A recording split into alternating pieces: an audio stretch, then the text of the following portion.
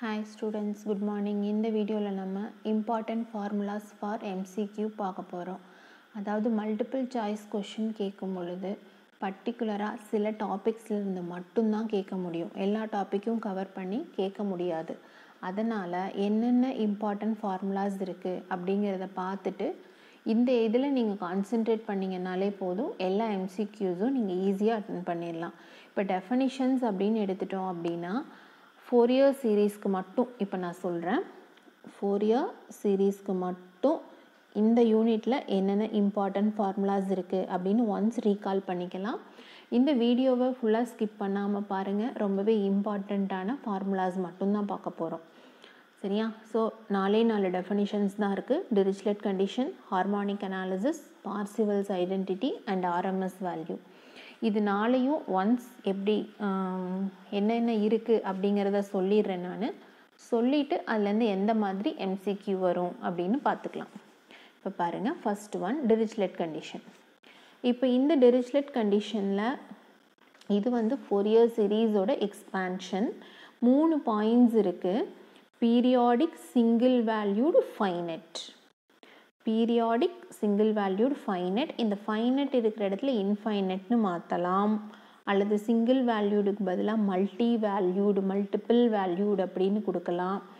Or otherwise பீரியாடிக்கு பதிலாக நான் periodic இந்த மாதிரி மாற்றி கேட்கலாம். ஆப்ஷன்ஸ் தான் சொல்ல முடியும். ஏன்னா மல்டிபிள் சாய்ஸ் கொஷின் இல்லையா? அதனால்.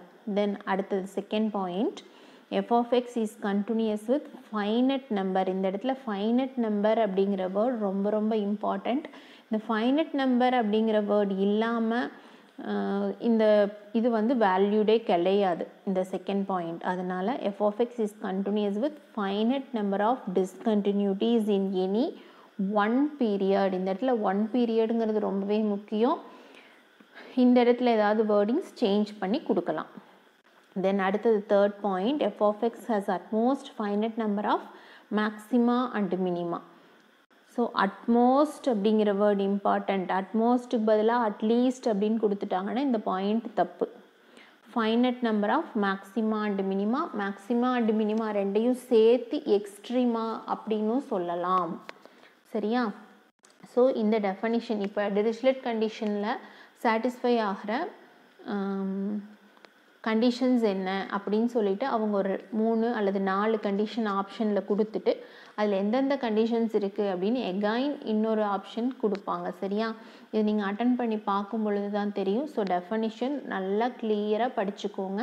அப்போ தான் வந்து உங்களுக்கு அட்டன் பண்ணுறதுக்கு ஈஸியாக இருக்கும். சரியா?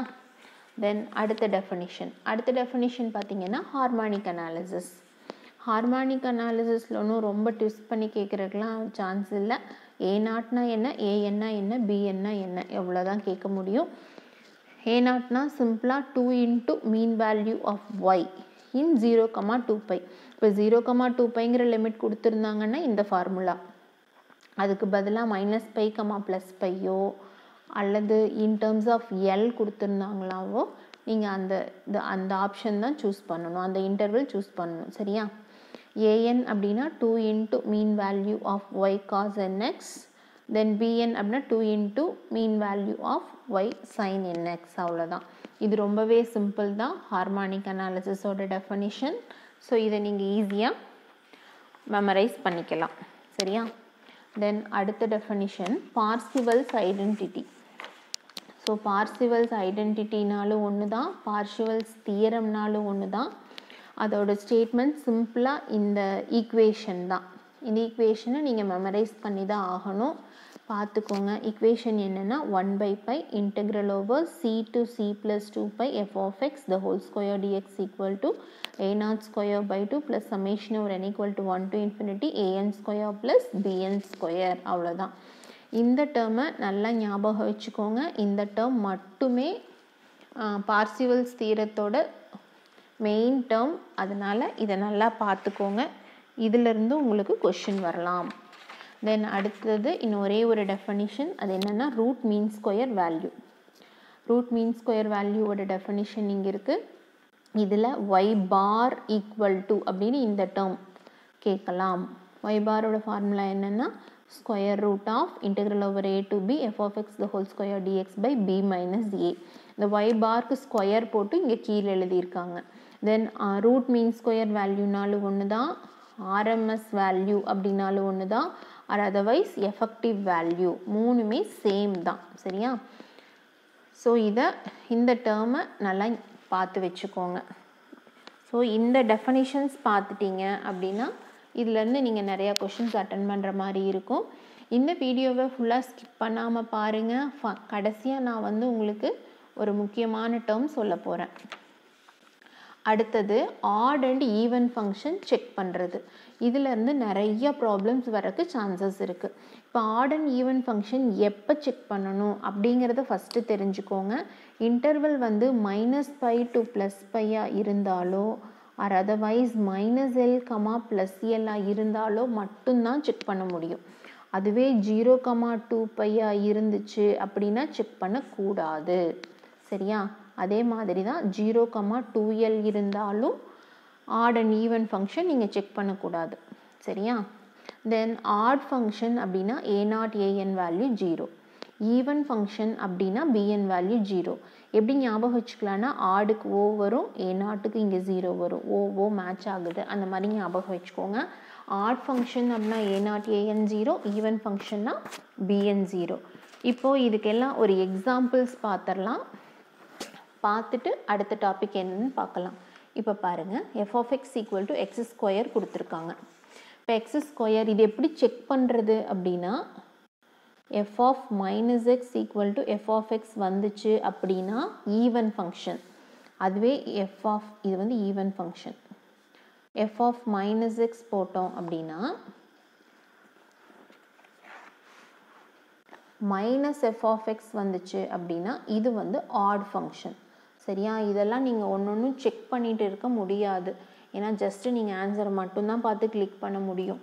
அதனால் எக்ஸாம்பிள்ஸ் என்னென்னு பார்த்துக்கலாம். இப்போ எக்ஸ் ஸ்கொயர் கொடுத்துருந்தாங்க அப்படின்னா அது எப்போவுமே ஈவன் ஃபங்க்ஷன் தான். அதுவே எக்ஸ்னால் இது ஈவன் ஃபங்க்ஷன் இது odd function then cos x அப்படிங்கிறது ஈவன் ஃபங்க்ஷன் சரியா? சைன் எக்ஸ் அப்படிங்கிறது ஆட் ஃபங்க்ஷன் இது ரெண்டையும் நீங்கள் நல்லா ஞாபகம் வச்சுக்கோங்க. காஸ் எக்ஸுங்கிறது ஈவன் ஃபங்க்ஷன் சைன் எக்ஸுங்கிறது ஆட் ஃபங்க்ஷன் சரியா? இது எப்படி ஞாபகம் வச்சுக்கலான்னா எஸ் ஓ ஸோ ஒன்றை மட்டும் ஞாபகம் வச்சுக்கோங்க போதும். ஸோ அப்படின்னு மட்டும் ஞாபகம் வச்சிட்டிங்கன்னா சைன்கிறது ஆட் ஃபங்க்ஷன் அவ்வளோதான் தென் ஆட்டோமேட்டிக்கலி இது காஸ் எக்ஸுங்கிறது ஈவன் ஃபங்க்ஷன் அப்படின்னு எழுதிடலாம். இப்போ பாருங்கள் இது வந்து ஆடு இது வந்து ஈவன் ஸோ ஆட் ஃபங்க்ஷனையும் ஈவன் ஃபங்க்ஷனையும் மல்டிப்ளை பண்ணால் என்ன வரும்? கொஞ்சம் டவுட்டாக இருக்கா? அப்போ என்ன பண்ணிக்கலாம்னா ஆட் ஃபங்க்ஷன்னா எக்ஸு ஈவன் ஃபங்க்ஷன்னா எக்ஸ் ஸ்கொயர் ரெண்டையும் மல்டிப்ளை பண்ணால் என்ன கிடைக்கும்? எக்ஸ் கியூப் எக்ஸ் கியூப்ங்கிறது என்ன? ஆட் ஃபங்க்ஷன் ஸோ இதுலேருந்து என்ன சொல்லிடலான்னா இது வந்து ஆட் ஃபங்க்ஷன் சரியா? அதே மாதிரி தான் எக்ஸ் இன்ட்டு சைன் எக்ஸ் இது வந்து ஆட் ஃபங்க்ஷன் இதுவும் ஆட் ஃபங்க்ஷன் ரெண்டையும் மல்டிப்ளை பண்ணால் அப்படின்னா இப்போ ரெண்டு ஆட் ஃபங்க்ஷனை x into x equal to x square அப்போது இது வந்து என்ன சொல்லலாம்னா it is an even function சரியா? இந்த மாதிரி டேர்ம்ஸ் தான் உங்களுக்கு நிறைய எம்சிக்யூவில் வரும். இதெல்லாம் நீங்கள் தெளிவாக தெரிஞ்சிட்டீங்க அப்படின்னா டக்குன்னு நீங்கள் ஆப்ஷன் சூஸ் பண்ணி ஆன்சர் போட்டுடலாம். இப்போ பாருங்கள் இந்த ப்ராப்ளம் இப்போ இந்த மாதிரி தான் அதிகமாக கேட்குறக்கு சான்ஸ் இருக்குது சிம்பிளாக எஃப்எஃப்எக்ஸ் கொடுத்துருவாங்க. ஏ நாட் ஏஎன்னோட வேல்யூ ஃபைண்ட் அவுட் பண்ணுங்கள் அப்படின்னு சொல்லிடுவாங்க இப்போ பாருங்கள் இங்கே எக்ஸ் இருக்கிற இடத்துல மைனஸ் எக்ஸ் ரீப்ளேஸ் பண்ணணும். அதாவது இந்த மாதிரி ரெண்டு டேர்மாக பிரிஞ்சிருந்துச்சு அப்படின்னா x equal to minus x replace பண்ணால் இந்த டேர்ம் வந்துடணும் அதே இதில் ரீப்ளேஸ் பண்ணால் இந்த டேர்ம் வந்துடணும் அப்படி வந்துச்சு அப்படின்னா it is an even function சரியா? அப்படி வரல அப்படின்னா it will be an odd function பாருங்கள் இது வந்து ஆட் ஃபங்க்ஷனுக்கு எக்ஸாம்பிள் இப்போது இதில் மைனஸ் சைன் போட்டோம் அப்படின்னா இதில் மைனஸ் சைன் போட்டோன்னே என்ன ஆன்சர் வரும்? Minus x plus x square வரும். சரியா? அதுவே இதுக்கு நெகட்டிவ் சைன் போட்டோம் அப்படின்னு என்ன வரும்? இதுக்கும் minus x minus x square தான் வரும். ஸோ இதில் இதில் நெகட்டிவ் um, சைன் போட்டால் இந்த டேர்ம் வரல இதில் போட்டோம்னாலும் இது வரல. ஸோ அதனால் என்ன சொல்லிடலான்னா it is an odd function அவ்வளோதான் சரியா?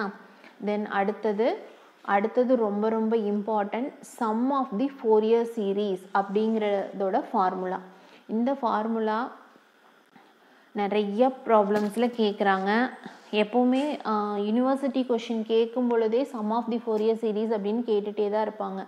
ஆக்சுவலாக இது ப்ராப்ளம் போடும்போது டிடெக்ஷனுக்காக யூஸ் பண்ணுவோம். இப்போ உங்களுக்கு ப்ராப்ளமே நீங்கள் போட போகிறதில்ல சிம்பிளாக இந்த sum of the Fourier series அப்படின்னு கேட்கலாம் or otherwise converges to the point அப்படின்னும் கேட்கலாம் இப்போ ஒரு இன்டர்வல் கொடுத்துருவாங்க. அந்த இன்டர்வலில் ஒரு பாயிண்ட் சொல்லுவாங்க. அது மிட் பாயிண்ட்டா இல்லை என் பாயிண்ட்டா அப்படிங்கிறத பொறுத்து தான் sum of the Fourier சீரீஸோட ஃபார்முலா இப்போ பாருங்கள் நடுவில் ஒரு point x equal to c அப்படிங்கிறது நடுவில் ஒரு பாயிண்ட் சரியா? மிட் பாயிண்ட்னா எக்ஸாக்டாக சென்டரில் இருக்கிற பாயிண்ட் இல்லை. ஏக்கும் பிக்கும் இடையில இருக்கிற ஏதோ ஒரு பாயிண்ட் சரியா? நல்லா அண்டர்ஸ்டாண்ட் பண்ணிக்கோங்க.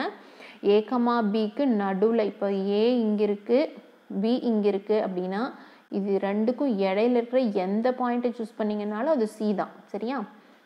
ஸோ மிட் பாயிண்டில் சிங்கிறத எடுத்துருக்குறோம். அது நடுவில் பாயிண்ட்டை எடுத்தோன்னா it is a point of continuity சிம்பிளாக எஃப் ஆஃப் சி போட்டோன்னா போதும். Sum of the Fourier series find out பண்ணுறக்கு அதுவே பாயிண்ட் ஆஃப் டிஸ்கண்டினியூட்டினா என் பாயிண்ட்ஸ் ரெண்டையும் ஆட் பண்ணணும். F of a plus f of b by two இப்போ இதுக்கு பாருங்கள் எக்ஸாம்பிள் இப்போது ஜீரோ கமா டூ பை அப்படிங்கிற இன்டர்வலில் ப்ராப்ளம் இருந்துச்சு அப்படின்னா ஜீரோ கமா டூ பையில் இப்போ இந்த ஜீரோவும் டூ பையும் தான் பாயிண்ட் ஆஃப் டிஸ்கண்டினியூட்டி இது ரெண்டுக்கும் இடையில இருக்கிற பை பை டூ பை எல்லாமே பாயிண்ட் ஆஃப் கண்டினியூட்டி சரியா? அதே மாதிரி தான் minus pi comma plus pi அப்படின்னு எடுத்துட்டோன்னா இந்த என் பாயிண்ட் இது ரெண்டும் தான் பாயிண்ட் ஆஃப் டிஸ்கண்டினியூட்டி இதுக்கு இடையில இருக்கிற ஜீரோ பை பை டூ எல்லாமே பாயிண்ட் ஆஃப் கண்டினியூட்டி தான். சரியா? அதுவே ப்ராப்ளம் ரெண்டாக பிரிஞ்சிருந்துச்சு அப்படின்னா zero to pi by two pi by two to pi அப்படின்னு ப்ராப்ளம் ஸ்ப்ளிட்டாக இருந்துச்சுன்னா பாயிண்ட் ஆஃப் டிஸ்கண்டினியூட்டியில் மூணு பாயிண்ட்ஸ் வரும். Zero pi by two pi மூணுமே வரும். தென் இந்த இன்டர்வலுக்கு இடையில ஜீரோலேருந்து நைன்டி டிகிரிக்குள்ளே இருக்கிற எந்த டேர்ம் கொடுத்தாலும் பாயிண்ட் ஆஃப் கண்டினியூட்டி அதே மாதிரி நைன்டி டு ஒன் எயிட்டிக்கு இடையில எந்த பாயிண்ட் கொடுத்தாலும் it is a point of discontinuity சரியா? தென் அதே மாதிரி தான் minus pi to zero zero to pi அப்படிங்கிற லிமிட்டாக problem பிரிஞ்சிருந்துச்சுன்னா minus pi zero plus pi எல்லாமே point of discontinuity point of கண்டினியூட்டிங்கிறது இதுக்கு இடையில இருக்கிற பாயிண்ட் அதே மாதிரி தான் இதுக்கு இடையில இருக்கிற பாயிண்ட்டும் சரியா? ஸ்டூடெண்ட்ஸ் இந்த வீடியோ உங்களுக்கு யூஸ்ஃபுல்லாக இருந்துச்சுன்னா லைக் பண்ணுங்கள் உங்கள் ஃப்ரெண்ட்ஸ் கூட ஷேர் பண்ணிக்கோங்க. தென் இந்த வீடியோவோட டிஸ்கிரிப்ஷன் பாக்ஸில் நான் ஒரு கூகுள் ஃபார்முக்கு லிங்க் கொடுக்குறேன். அந்த லிங்க்கில் உள்ளே போனீங்க அப்படின்னா ஃபிஃப்டீன் மல்டிபிள் சாய்ஸ் கொஷின் இருக்கும்.